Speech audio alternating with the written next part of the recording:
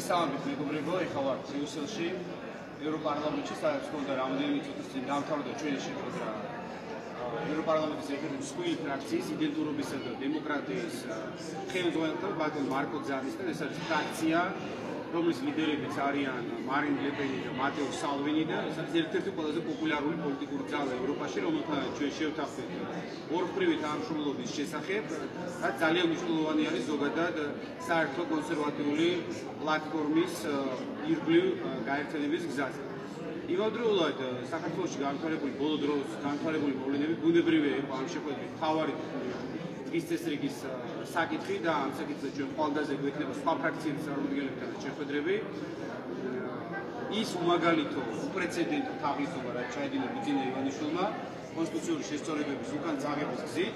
და ჩვენი თავი ამოცანა არის ის რომ საერთაშორისო ასპარეზზე მიღწეული იყოს ივანიშვილის რეჟიმის იზოლაცია და უნდა დაიწყოს მისი რეჟიმის წინააღმდეგ ფინანსური სანქციების დახმარება და ამ მიმართულებით ჩვენ დავიწყეთ საკმაოდ ინტენსიური მუშაობა და ეს დღეების და შემდგომი დღეების მასალას ჩვენ გვექნება პრაქტიკულად ყველა პოლიტიკური ჯგუფის წარმოადგენლთა სწორედ ამ დღის წესრიგით ძირითადი შეხვედრები. აქ მინდა გამოეხმაურო, ვინაიდან არ ქონდა შესაძლებლობა საქართველოსი განვითარებულ მოვლენებს პროპორციული სისტემა ეს არ არის როგორც ზოგიერთ ზოგიერთ მხოლოდ ოპოზიციის მოთხოვნა. პროპორციული სისტემა ეს არის შანსი, რომ საქართველოსი დავამთავროთ ეს 27 წლიანი ქაოსი, მუდმივი დაპირისპირება, ბარიკადები, რაც გრძელდება დამოუკიდებელი საქართველოს დამოუკიდებლობის გამოცხადების შემდეგ. პროპორციული სისტემა ნიშნავს იმას, რომ პარლამენტში ყველა პოლიტიკურ ძალას ექნება იმდენი მანდატი, რამდენი ხარდაჭერაც ექნება ჩვენი ხალხისაგან და მათი უმრავლესობა ჩამოყალიბებს თავრობას. მაჟორიტარული სისტემა, რადგან ებღაუჭება ივანიშვილი და მისი მაჟორიტარების მაფია, ეს გულისხმობს იმას, რომ სადღაც შეიძლება კონდეს პარტიის 15-20% ხარდაჭერა და კონსტიტუციური უმრავლესობა პარლამენტში და მთელი 80% ჩვენი საზოგადოების რჩება ოპოზიციაში, რაც ბუნებრივად იწვევს შემდგომ დაპირისპირებას რუსთაველის გამდერზე. ამიტომ პროპორციული სისტემა არის ყველა ჩვენთან გამისაგან შანსი, რომ საქართველოს დამშვიდდეს და საქართველოს პოლიტიკურმა ძალებმა აწარმოოს დიალოგი და არა საბარიკადო ბრძოლა რუსთაველის გამდერზე. მეორე საკითხი, რაზეც მინდა გამოეხმაურა, ეს შეეხება ჩვენ დამოგინებულებას ნაციონალურ მოძრაობასთან დააყრიალებენ ქართული ოცნების პროლები რაღაც ფოტოს რომელიც გადაიღეს სადღაც საერთო მაგიდასთან როგორ ხვდები ჩვენ სხვადასხვა პარტიები ერთმანეთს და ამ მაგიდეს ირგვლივ არიან ნაციონალური მოძრაობის წარმომადგენლებიც. ისინი ცხედან ზიან. ჩვენ პირველ რიგში ვიტყვი რომ აი ძალიან სასაცილო არის როდესაც ბინარაძე, ვოლსკი, ხალაკვაძე, ყაველაშვილი, ხუნდაძე, ის ხალხი რომელიც გირგვლიანის კლუბის დროს, 7 ნოემბრის დროს, 9 აპრილის აქციების დროს, 26 მაისის დროს ხო საერთოდ ბუჩქებში იყვნენ დამალული, ეხლა არიან დიდგულზე ნაციონალურ მოძრაობასთან და მე ეკაბესელიას, ნინო ბურჯანაძეს და იმ ხალხს, ვინც პირველ რიგში ვიყავით ბრძოლის წინახალზე ვიყავით მაშინ, ეს ხალხი გველაპარაკება ჩვენ ნაციონალურ მოძრაობაზე, ეს უბრალოდ სასაცილო არის. ყველას მინდა მიმართო რომ ბატონებო თუნდაც თავი გქონდა აი როცა საშიში იყო ამის თქმა მაშინ გამოსული ყავით და დამდგარიყავით თქვენ გვერდზე და არც ერთი თქვენთაგანი არ მახსოვს არც 7 ნოემბერს და არც 26 მაისს. რაც შეხედოთ რომ საკითხს ნაციონალურ მოძრაობასთან ურთიერთობის შესახებ ეს ბუნებრივი არის მნიშვნელოვანი საკითხი.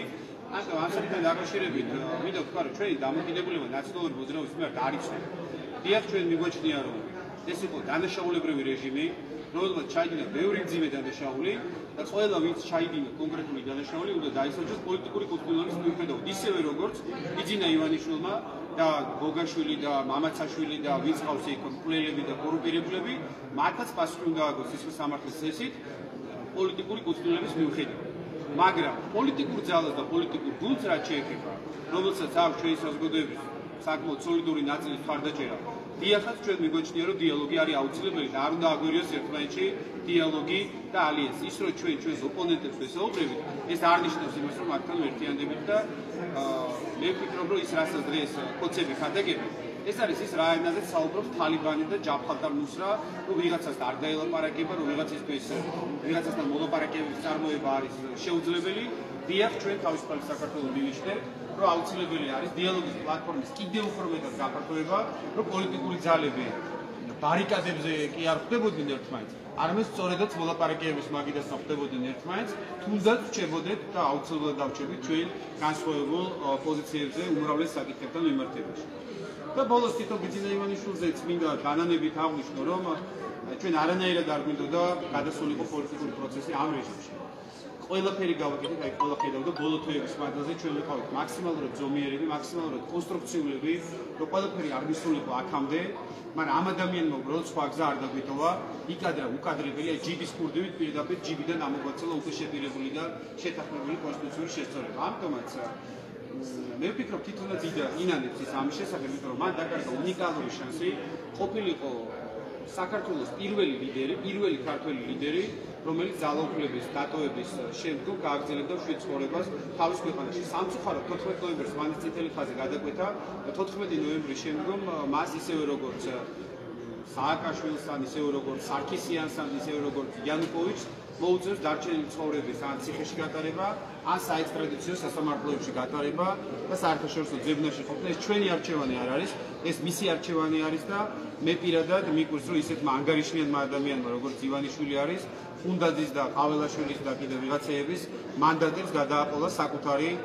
პირადი უსაფრთხოება და კომფორტი, მაგრამ ეს მისი არჩევანი არის. ჩვენი მთავარი ამოცანა იქნება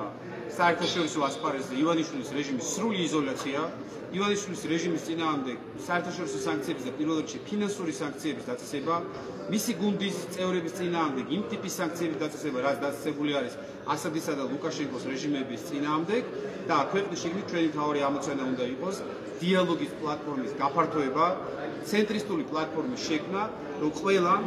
ყველა მინუს 1 თელმა საქართველოს მოვახერხოთ ის, რაც უკვე ძალიან დიდი ხანია არ გაგვიკეთებია, მიუხედავად ჩვენი განსხვავებულობისა, მიუხედეთ რა არის ჩვენი ქვეყნისათვის უმთავრესი ამოცანა და ამ ერთობლივი ამოცანის მიღწევის პროცესში არ წამოვიგოთ ივანიშვილის ანკეს, რომელსაც უნდა ერთმანეთი დავჭამოთ და მოვახერხოთ აი ხა ამ ლოკალურად ამ ერთი ამოცანის ერთ კონცენტრირება, მივახციოთ პროპორციულ არჩევნებს, რაც არის იმისი გარანტია, რომ საქართველოს იქნება შვიდობა და ჩვენ შვილებს აღარ მოუწევთ იმ 7 ნოემბრის და სამოქალაქო ომების და მასობრივი არეულობის გავლა, რაც სამწუხაროდ ჩვენ გავიარეთ საქართველოს დამოუკიდებლობის წლებში.